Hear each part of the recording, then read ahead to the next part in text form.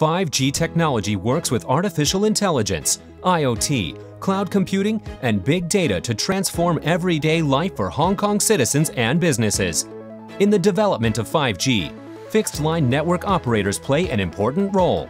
Main 5G features are high speed, low latency, and ultra-high density of connections. Mobile network operators need to cover a broader and stronger base station network. We provide a backhaul network between base stations to facilitate connections and join with mobile network operators to plan where their base stations are located, which creates cells of coverage. The backhaul network has also been upgraded from 1 gigabyte per second to 10 gigabytes per second, which could be imagined as a much fatter pipe with a round-trip latency of less than 2 milliseconds. This means a packet of data can complete a round trip in less than 2 milliseconds.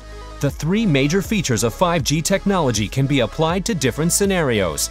Our local fiber network HomePass reaches more than 90% of the population, gaining a leading share in the mobile network operator market we provide a stable, reliable infrastructure network as well as one-stop fixed line and ICT services for the 5G era. HGC is embracing 5G wholeheartedly